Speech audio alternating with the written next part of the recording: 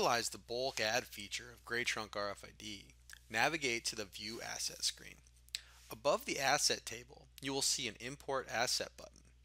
Click it and a pop-up will appear. You import assets by category.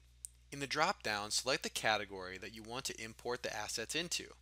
After selecting the category, click Download Template. The download will begin and once it has downloaded, click to open the template. After the template is open, you can begin to insert your asset data. The required fields are asset tag ID and a yes or a no on depreciation. You can enter as much or as little of the other field data as you wish. Continue this process for the assets you need to import.